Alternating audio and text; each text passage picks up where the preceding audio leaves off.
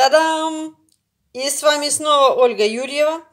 И это не просто Ольга Юрьева, которая вяжет, это Ольга Юрьева с двумя проколотыми пальцами.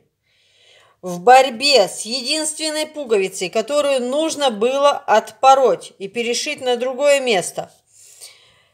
Это бывает, наверное, только со мной. Взяла распарыватель. Как нормальный человек, аккуратненько отогнула пуговичку, но распарыватель оказался тупой. Это как в истории с ножами. Ничего не режьте тупыми ножами, иначе порежете себя. Ну, конечно же, я проколола себе палец. Я думаю, ну ладно. Одного пластыря это просто вообще. Я победитель.